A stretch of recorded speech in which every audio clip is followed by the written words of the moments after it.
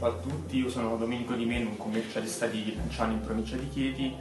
La lezione di oggi è una lezione che sta partendo dalle delle basi teoriche e poi si sta sviluppando in maniera molto pratica che poi fondamentalmente è quello che interessa a noi per la nostra professione e questo sta cambiando anche il mio modo di approcciarmi alla professione e quindi anche ai clienti presenti e spero potenziali.